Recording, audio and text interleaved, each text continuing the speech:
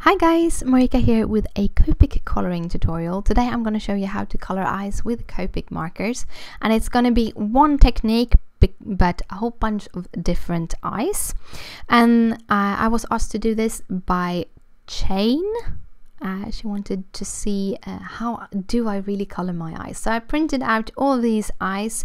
These are close-ups of characters from Make It Crafty, and I'll link down below to all of these uh, characters. And I'm going to show you how I kind of have different ways you can color eyes, how I color eyes, and a little bit of those. All this video is in real time, so it's a 12 minutes video, but you get a whole bunch of eyes for it. The first little character I'm going to color, the thing with her is that she has really, really big reflections in her eyes. And also she don't have a delimiter around her eyes. So I start out with a skin color to kind of map out the eye whites. And you can do this in any shape you want to. This is where you can let your artistic flair be shown and you can make the eyes round or more almond shape that I do. I kind of like to have a very bend high bend on the upper side and almost a straight line on the lower lid which is very manga-ish. Then I'm using the lightest color to kind of color in the um, iris because it doesn't have that much of an iris due to the big reflections. So then I'm shading my little eye whites with the B63.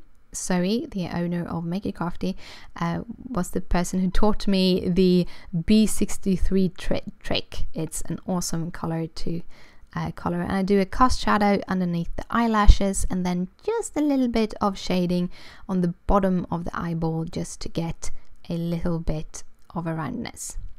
Now with this eye having very little bit of an iris and a lot of reflection, I just work in small, small U shapes, uh, where the U shapes go towards the upper lashes. I always use lighter color at the bottom and darker color at the top because you have the natural shadows from the lashes. Then I go in with, uh, in this case, actually five colors. For these small eyes, you only maybe need three but I'm using the same colors for all the eyes and that's why I kind of chose to continue using all of them also for these small eyes. So the next uh, eyes have smaller reflections, still have the delimiter. Uh, again, going in and doing a little bit of skin coloring, uh, no shading, just doing the shapes of the eyes. Um, if I would do this on a real character, I would start by going in with the lightest color to do this shape, but I also would do all of the shading of the skin uh, while I was at it and then go in with the eyes. But it's all about the eyes today, so uh, not so much more of that. Then I'm going to do the shading. I'm shading also on top of the reflection when it comes to the cast shadow from the uh, eyelashes. Uh, and if you actually look at an eye image, you will see that you will have a cast shadow on your reflections in the eyes. And because of the iris being pretty big here, I don't have to map it out, so I just start with the darker color. I'm lining both the pupil and the iris uh, just around with the darkest color. And if you go in and look on your own eyes or you google eyes you will see that a lot of eyes do have a very dark circle as the delimiter of your iris. And also you will have kind of a darker ring around your pupil. So i'm kind of trying to mimic this. And then when i go in with my lighter colors I add more color up where the shadow would be under the lashes and then I just carefully line the rest of it so that the upper part of the eye towards the lashes have more of the darker colors while the lower part is going to have a lot more light in it and be lighter because it will not have that natural shadow from the eyelashes.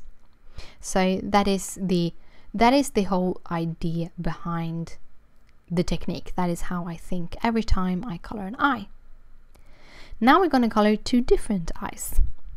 First, we are doing our left eye here. We're going in, or actually, I'm going to go in with the shadows, uh, eye, eye white shadows on both of the eyes. These are already delimited, so I don't need to do the skin color first. And I do try to give it a little bit of a roundness uh, and the cast shadow from the eyelashes. You can actually go in and do the whole cast shadow, um, even if you're gonna shade it with another color. You can do it all under the lashes with the B63, which is a very simple color to use. For here, I'm doing the lining again, and this is the base of all the eyes I do. I will line them all in more or less because uh, if you have very thin irises, then you want to have very very thin darker lines and thicker. You also always want to have like a thicker light part than you have a dark part because that will give you a more open eye and give it also give it a little bit lighter eye. Here is the these characters actually come both with black and not colored um, eyes and I kind of showed you that you can either pick the white dots that they look there or you can do your own. So this first eye I'm actually doing a horizontal uh, re reflection uh, and on top of that I'm actually gonna have the lashes kind of reflect a little bit into that reflection so I'm adding small uh, pointy things that looks like eyelashes in my reflection. And I thought it was a little bit too light, so I'm adding the T4 on top of it. And then I wanted to have a little bit of a darker um, pupil, so I'm going in with the 110 black. And now for some detailing. I waited with the detailing until I did the pupil because then the the iris would dry.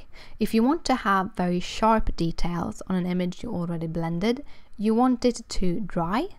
If you do the details on the eye when it's wet, it will blend into the rest of the ink and they will the details will get a little bit more fussy. So I choose to do them after it has dried so that I can get a little bit more sharper details.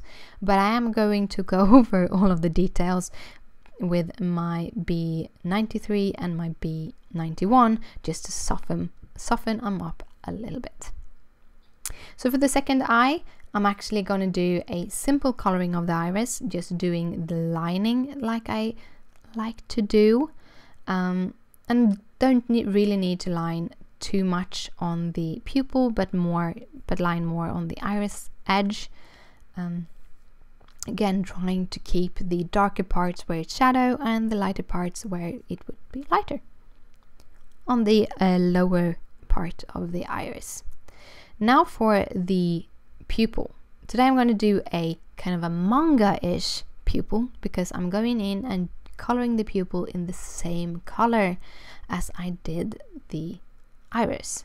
So I'm using the same colors uh, I'm keeping a cast shadow underneath the um, lashes, but otherwise I'm trying just to keep the light in the middle of the pupil.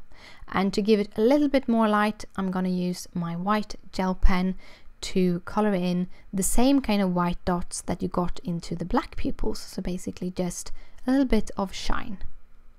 Now for the two last eyes, which is all about the pupils and also a little bit about uh, coloring eyes that is a little bit on an angle.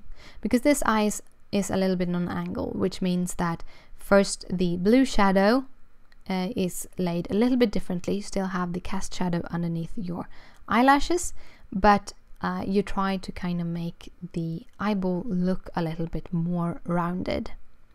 When it comes to aligning the the pupil uh, I'm being a little bit more careful and don't do it all the way around.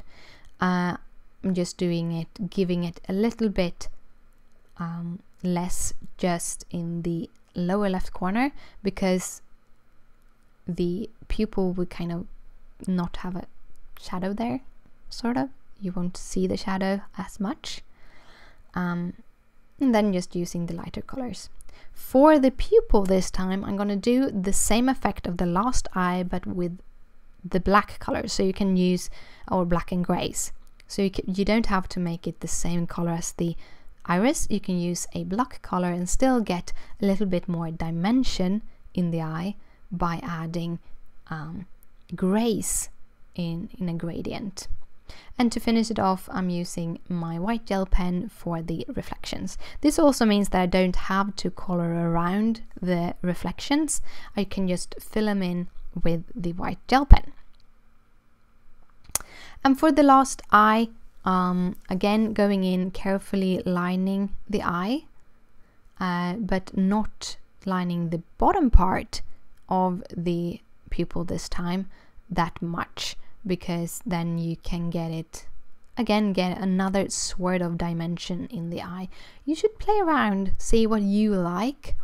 And for the pupil i'm going to do the blue gradient pupil uh, where i kind of follow the shape of the pupil but also have that upper cast shadow from the lashes. And now i want her eyes to twinkle so instead of making a round reflection, I am doing a little star-shaped reflection and it looks like her eyes is twinkling. So you can do a lot of different kind of eyes and different kinds of um, sparkle in the eyes to make them look kind of cool. And those were all of the eyes for today, all the ways you can do the same technique but with different pupils and such. Um, it's a very simple technique to color the eyes. But thank you so much for watching. If you like these tutorials, please thumbs it up and comment in the comment section. You can also hit that subscribe button if you want to see more videos like this. And here are two videos where I actually have drawn the eyes and then color them. Thank you again for watching and I'll see you later. Bye!